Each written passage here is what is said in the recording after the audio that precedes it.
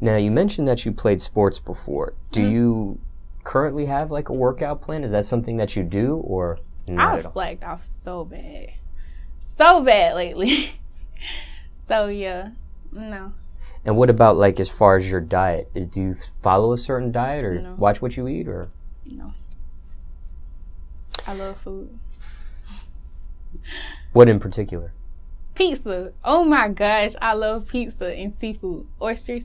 Like but I will go crazy for pizza. Like that's my biggest thing. If I could order pizza every day, I will order pizza every day. What kind of pizza?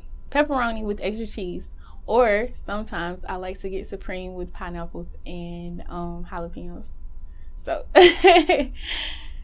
That's an interesting combination. I know.